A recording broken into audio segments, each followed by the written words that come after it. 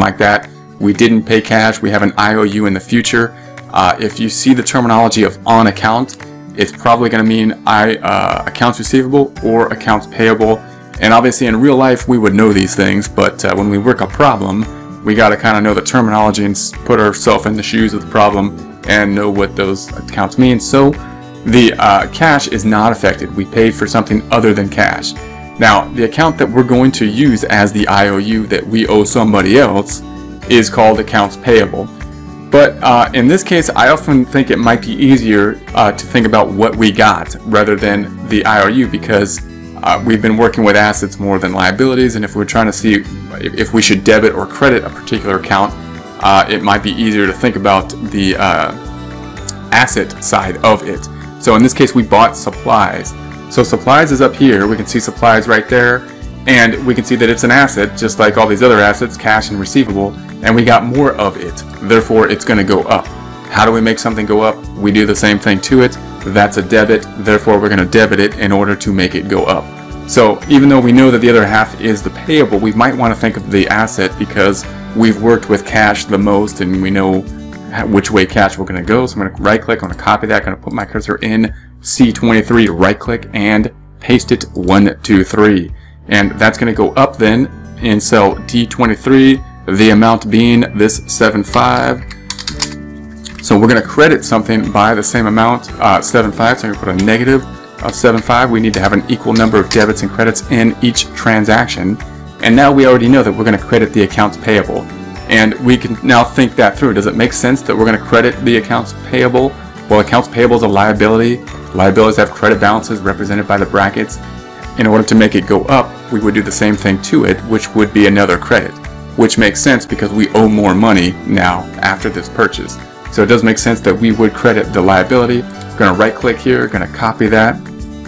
To go down here to cell uh, C24 right click and paste it one, two, three. Alright, so now let's post this out. This is called the uh, general the journal entry that we are going to post to the general ledger. So I'm going to make this a little bit smaller like so. And then we're going to look this over and we're going to look for the supplies. By the way, you might be thinking, why is supplies an asset and not an expense? Uh, many people might be expensing their supplies and there's nothing wrong with that. But uh, in this case, if the supplies were large, and material to our decision making, then we should put the supplies on as an asset and then count them at the end of the time period and then expense them as we go. If on the other hand supplies is immaterial, say we bought like a five year supply of paper clips for like $25, you know, we're not, even though the paper clips are going to last a long period of time, we are not going to go through the trouble of counting the paper clips and expensing them as we use the paper clips. We're just going to go ahead and expense them. So uh, the other reason we put supplies up here is because although we're not talking about inventory yet, we can account for supplies in a similar fashion that we will account for inventory. So we'll have an adjusting entry for supplies that will mirror the adjusting entry for inventory, meaning we're going to buy stuff, we're going to compile it. I think of it as like paper being in, ta in the tax office. We buy a lot of paper and ink, we put that in the corner, then we use it, and we're going to go ahead and count it, expense it as we use it. All right, so here's the supplies account over here and it's in S20. So we're going to go ahead and say equals, and I'm going to point to that 7.5 in cell D23 and enter. And that makes the supplies go up to 885. We can see that 885 there as well. We're out of balance by the 7.5, and now we got to go to the accounts payable. So accounts payable, we can just barely see it over here. It's not quite the whole thing. So we're over here in AB10 and once again, it goes from V up to AB, and we have a negative 300 in there so far, a credit of 300. We're going to say equals. I'm going to hold down the left arrow till I hit the wall, go down to the payable of 7.5 and enter. So what happened? The 3,000, the 300 goes up by 7.5 to 7.8. We can also see that 7.8 over here on the trial balance, of course. So there's the 7.8. We can see that we are back in balance down here we can see that there's no effect on the income statement from that transaction because we have no income or expense accounts that were affected from that transaction. All right, let's go down to the next one. Let's make our screen a little bit larger, back to 100% up in the taskbar over here. Let's scroll back to the left, and we are now on 521. 521 says, record services uh, provided but for which cash has not yet been received. All right, so we did services, but we have not yet received cash. So is cash affected? And no, we, we did service, but we didn't get cash. So what did we get instead? If we did work, we're going to assume we got something. We're assuming we got an IOU called accounts receivable. So if we did work, we're still going to say, yeah, we received something. We received a promise to be paid. And therefore, this is uh, an asset. It's not our favorite asset. It's our second favorite asset because it's going to be converted into cash hopefully within like 30 days. So it's a debit. We're going to make it go up by doing the same thing to it because people owe us more money. Therefore, we're going to go ahead and debit accounts receivable. So I'm going to scroll down here. I'm going to put that on the top. I'm in cell C26. Right click, paste it one, two, three. Again, you could type it in there, uh, but I'm just think that the copying and pasting is faster in my opinion. And then we're going to go over here and that's going to be 800 $8,000 and we're going to credit something. Every transaction has to have an equal number of debit credits. So then over here in E27, I'm going to put a negative 8,000. When we hit enter, we'll see those brackets appear. Then the only question is, what will that credit account be? Why are people going to pay us 8,000? Because we did work. And in doing work, we earned revenue. So revenue is down here. Remember, it's always going to be in order, meaning assets, liabilities, equity, and then revenue and expenses. Sometimes people get the assets and revenue a little bit mixed up in terms of they're both kind of like good things. They're both things that we like. Notice we like both sides of this transaction. We like the receivable, we like that people owe us more money. We also like the revenue, which is the income half of it, meaning that means we earned the revenue. So we earned the revenue, we're getting paid in an IOU at this time. That IOU will hopefully be converted to cash at a later time. So notice that the revenue account has a credit balance and we need to make it go up. So we're gonna do the same thing, which is another credit. Note that revenue always gets credited. So I'm gonna copy that I'm going to paste it one, two, three. Revenue just doesn't normally go down. We don't do work and earn negative revenue, although we do have expenses that bring net income down. Alright, so then let's post this out. I'm going to make this a little bit smaller. Let's go down to about 80 on the taskbar down here so we can see our general ledger.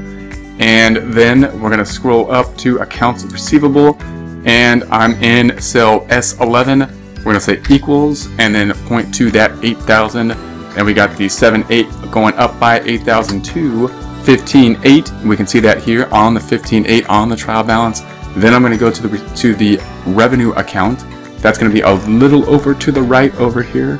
So we have the revenue account down here. And notice it only has credit balances. We don't ever debit revenue for the most part because it just goes up. I'm in cell AF20 in this case, AF20.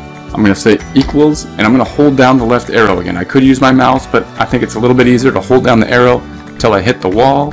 I'm going down to the last journal entry we did, and I'm looking for that revenue account, that 8,000 revenue, and I'm going to say enter, and we can see that that goes up. So notice they should all be credits here. If you see a debit in the revenue account, probably went the wrong way. It went up from 14.6 to 22.6. And what does that do to our trial balance? puts us back in balance down here, and our net income goes up uh, to 22.2, being the 22.6 minus that 400 miscellaneous expense. And we're very short on expenses right now. We're going to have some expenses most likely coming up as of the end of the month because that's when we pay our bills. All right, so then we're going to go down here to uh, 5, could squeeze one more in here, 525, where we have cash received from clients for revenue earned during this month. Okay, so now we received cash for work we did in the same time period. So therefore, is cash affected?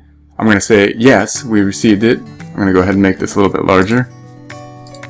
We're going to say, yeah, we received cash, and therefore cash has a debit balance. We're going to make it go up. How do we make something go up? We do the same thing to it as what it is, which in this case would be another debit. Right click, copy the cash cow. Scrolling down to C29, right click, paste it 123. The amount that we received was 4002. So 4002 on the debit side, we're going to have to credit something for that same amount, being a credit represented by a negative 4002. When we hit enter, we'll see those brackets up here. So there's the brackets. Now we're to have to say what will that um, account be, and we're going to say we got paid cash because we earned it. We earned revenue and we earned it in the same time period, in this case, in the same month. And so we can see our revenue account once again is down here. It has a credit balance. It only goes up for the most part. and it has a credit balance represented by the brackets. Therefore, we're going to make it go up by doing the same thing to it, which is another credit. Going to copy that. And we already knew that because we debited cash, so we can already we already have that credit over here. Going to right click. I'm going to paste that to one, two, three. There's our journal entry.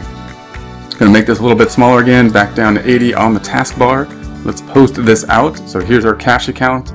Going to scroll down and we're going to go to the next line. It's going to go up with a debit. So I'm in 014, cell 014 equals and point to that 4002 and enter. And that makes the cash go up from 35.4 to 39.6. Then we're looking for that revenue account over here. So revenue is over here somewhere. Gonna go to revenue, it's a blue account. Notice it's in order. The green accounts are assets, orange accounts are liabilities, then equity, then revenue. Here's revenue. It only has a credit balance. Gonna put equals in cell AF22 and uh, hold down the left arrow. Go down to the last transaction. There it is. There's that 4002. Gonna say enter and the revenue goes up once again from 22.6 to 26.8. And what happens to the net income? It goes up to 26 4. So that's the 26.8 minus the 400. And we're running out of room on the journal entries. What, we, what we're going to do at this time is unhide those cells that we hid earlier so that we can uh, work on those cells. So we can see up here we got A, B, C, D, E, K, uh, and so there's some missing cells in there. So I'm to unhide the cells between E and K by uh, clicking on the cell E when it has an arrow such as this and then holding down the left click and dragging to the right so I get to cell L, letting go, and then I'm going to right click on that selected area and unhide. So there's that information. Now we're going to start, I'm going to put the date here, which is going to be the next transaction on 527. And then I'm going to go ahead and hide these cells. I don't need to see these cells at this time. Now if there's a problem, I'm going to have to go ahead and unhide it and find it and whatnot. But right now I just want to hide these cells. So I'm going to put my cursor on, let's go to column B, and I'm going to click on that and then highlight and hold down to column F, let go, then I'm going to right click on the selected area and hide that information. So it's still there, it's still all posted, going from A to, to G, we didn't delete it, uh, but uh, we are now able to see uh, what we want to see only. Alright, so now we're down here on 527. It says cash received from clients for revenue earned in prior month and recorded in accounts receivable. Alright, so is cash affected?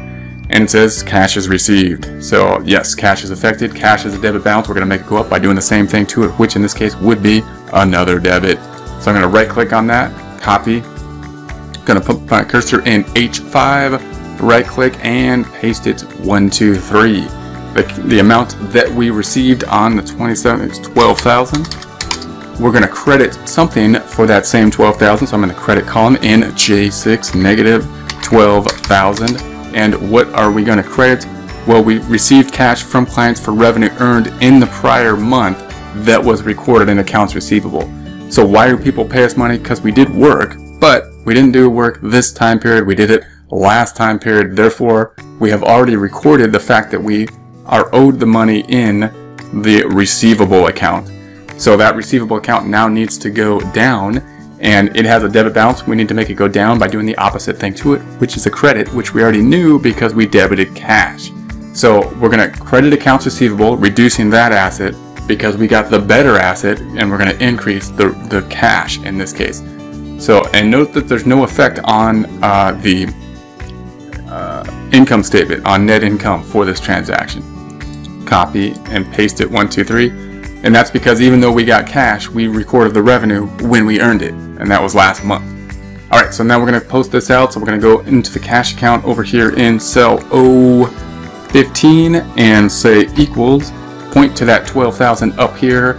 And when we hit enter, the, the 39.6 will go up to 51.6. Then we're going to look for the receivable. That's right over here, right next to it. And we're going to, I'm, I'm in cell T12 and we're going to say equals and point to that 12,000. This is a debit, that's a credit, that's going to make the account go down. Oop, I think I missed it. Let's say equals and point to that 12,000, makes it go down. There it goes. All right, down to 3008. We also see that 3008 over here. And we can see that we are back in balance by the green zero, meaning that the debits minus the credits equals zero, and we are good, back in balance, ready to go to next transaction being on 528.